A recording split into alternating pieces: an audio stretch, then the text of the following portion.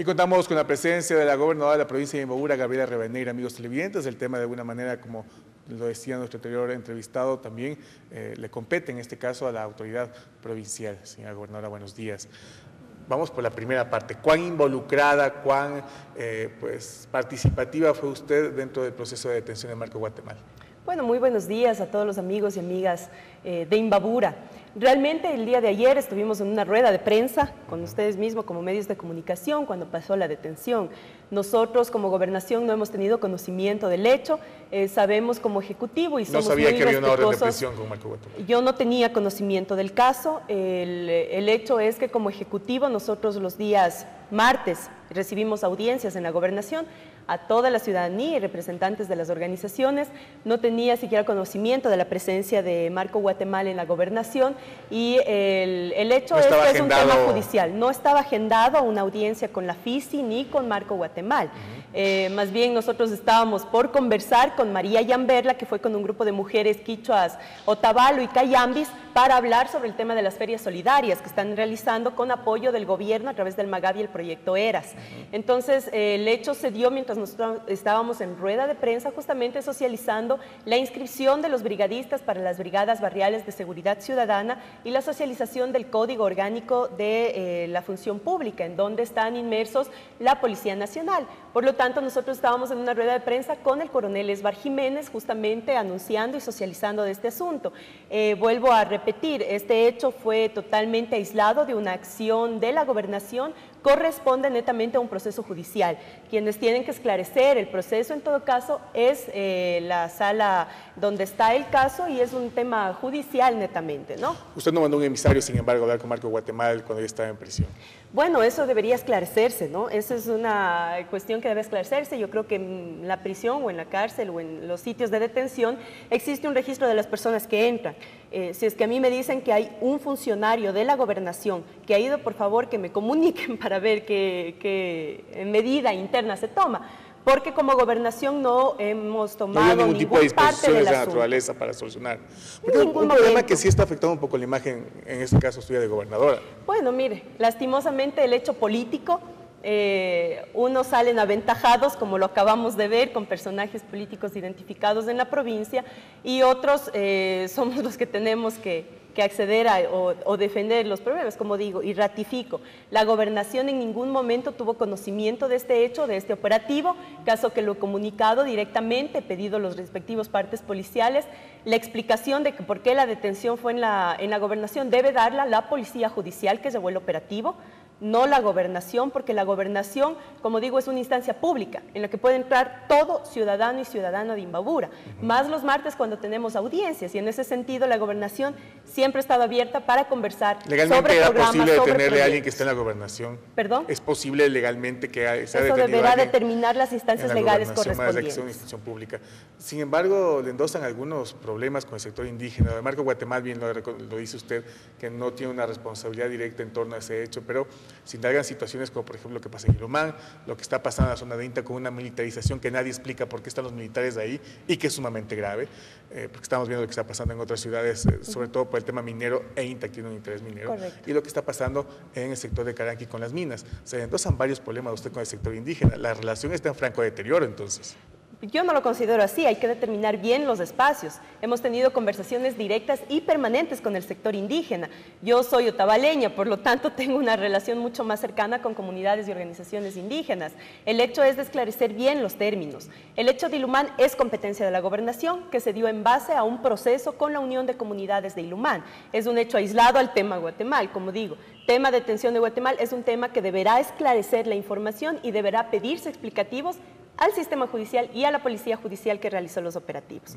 En el tema de Ilumán es una competencia exclusiva la determinación de jefes y tenientes políticos por parte de la gobernación.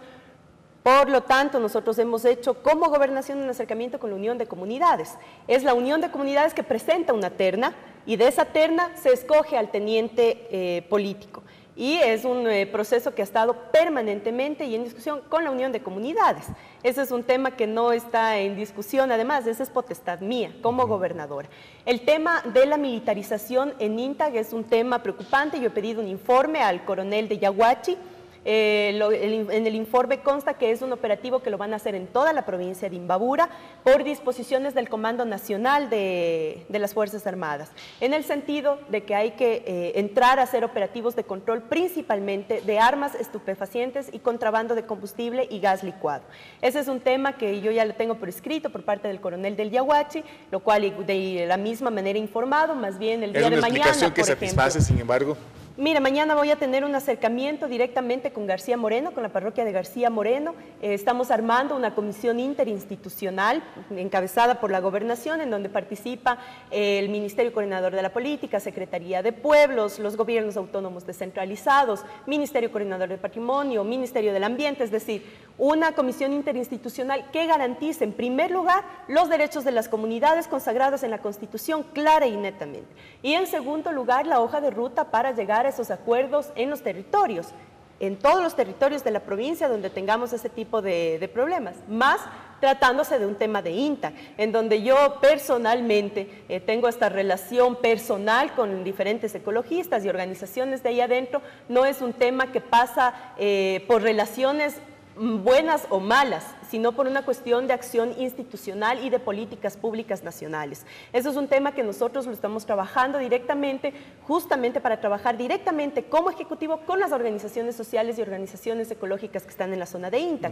Por lo tanto, el que se quiere interpretar también que la presencia de militares obedece a otros hechos nacionales, también es un tema muy delicado que yo pido y, eh, que se esclarezca también por parte de las organizaciones que han dado esos argumentos y han dado esas, eh, esos o han emitido esos diferentes artículos, que tengan un acercamiento directo y podamos conversar. Yo he llamado permanentemente a un diálogo en la provincia, he dicho desde el primer día de la posesión que las medidas de coerción serán la última eh, rueda, la última eh, estrategia o herramienta utilizada por el Ejecutivo en la provincia, sin embargo hay que actuar apegados a la ley. Y hay cosas que la ley también determina que están eh, eh, tipificadas como delitos penales.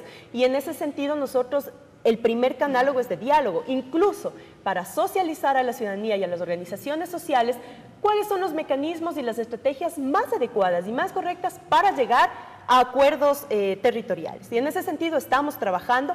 El tema de Caranqui es un tema muy puntual, además. El tema de Caranqui, eh, justamente hace aproximadamente unos cinco meses, yo directamente fui la que solicitó al compañero presidente el cierre de las canteras hasta que no cumplan una disposición. Por parte de la gobernación estamos dando seguimiento, porque esas canteras tienen que permanecer cerradas si es que no cumplen las medidas técnicas adecuadas para hacer explotación eh, minera. Y eso es algo totalmente claro. He pedido informes eh, exclusivos a la Agencia de Recursos No Renovables, a la ARCH, justamente para que eh, informe sobre la situación de las canteras actuales, la cual también me ha notificado que las canteras no tienen permiso para operar. para operar. Y en ese sentido estamos dando un seguimiento permanente. aquí también yo llamo a que las organizaciones sociales, a las organizaciones de todos los ciudadanos y ciudadanas, en vez de ser parte del problema, seamos parte de las soluciones. Que ¿Teme que haya movilizaciones ante, esta serie de situaciones que se están dando con respecto al movimiento indígena? Bueno, es un eh, derecho que garantiza a todos los pueblos, la Constitución garantiza el hecho a la movilización. En ese sentido, pues cualquier tipo de apoyo que se dé, como digo, por parte de la gobernación es eh, totalmente claro y abierto. Vuelvo a ratificar que este no es un tema político de la gobernación ni del Ejecutivo, esto está siguiendo su cauce por el sistema judicial. Y en ese contexto, ¿estaría usted abierta y dispuesta en esa condición de un diálogo permanente a reunirse con los dirigentes de la FICI y explicar la situación su situación con respecto al tema específico de Marco Guatemala? Mire, nosotros estamos dispuestos ¿Es complejo algo así? Nosotros estamos dispuestos a reunirnos con todos los ciudadanos, con todas las organizaciones, cuando sea para proponer y para trabajar en nuestros planes y proyectos como gobierno nacional. Eh, son temas por competencias y en eso nosotros hemos ido siempre, Fabricio, que hemos estado aquí en el canal y mucho antes, cuando hemos estado en otros puestos eh, políticos y públicos, nosotros hemos dicho, somos absolutamente respetuosos de las competencias de cada institución.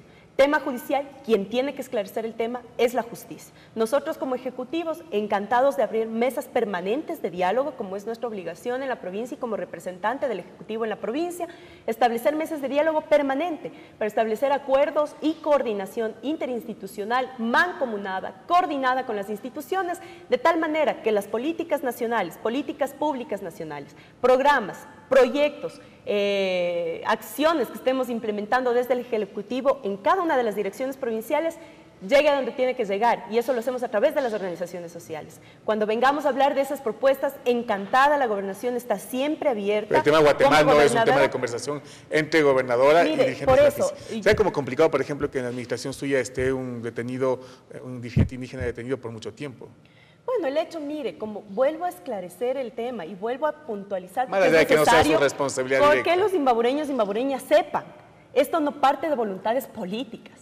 Esto no parte de voluntades políticas, esto es un hecho judicial que otras personas, que otros eh, políticos identificados mucho con la política tradicional quieran aprovechar de este hecho para, eh, como una plataforma política, nosotros no tenemos absolutamente nada que ver con el tema, como gobernación, como ejecutivo, este no es un hecho que está anclado a una participación política. Las puertas de la gobernación están siempre abiertas. Ustedes me conocen, saben el actuar de la gobernación.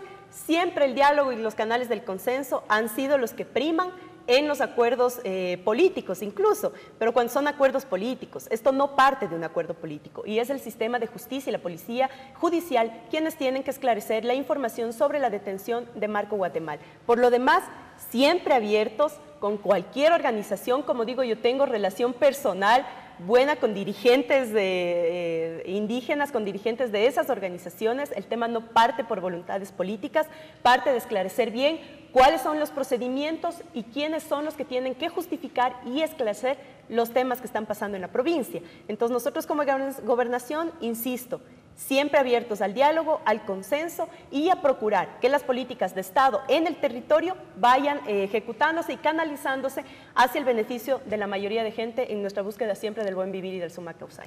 Gabriela Rivadeneira, amigos televidentes, gobernadora de la provincia de Imbabura en esta mañana. Una pausa y estaremos ya con información de la comunidad.